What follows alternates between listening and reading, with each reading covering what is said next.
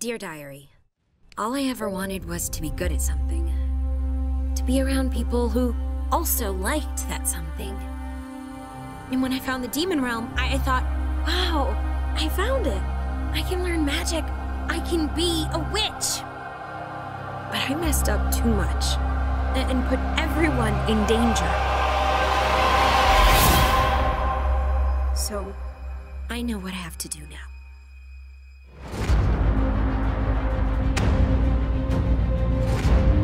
Lazura. No one ever said being a witch hunter was easy. But then you showed up. But why? Why go through all this? I'll do anything to save humanity from evil. Goodbye, Evelyn. See, this is why you're so useful, Luz. You're so desperate to help people. You even helped me meet the Collector. I didn't mean to. I thought I was doing something good.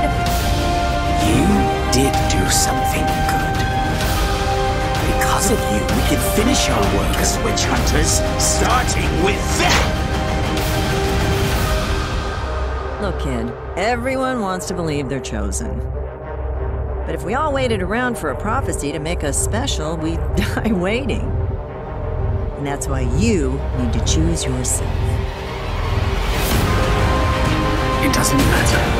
I just need to live long enough to see this through. Let's fight back. Please? For Flapjack? For Flapjack.